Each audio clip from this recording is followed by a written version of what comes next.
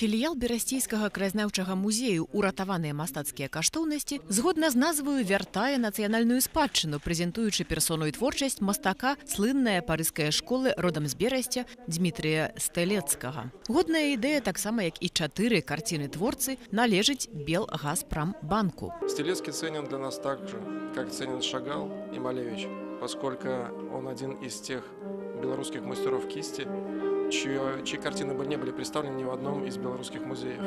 Сегодня этот день для нас праздник вдвойне, так как мы представляем впервые в Беларуси его картину в его доме.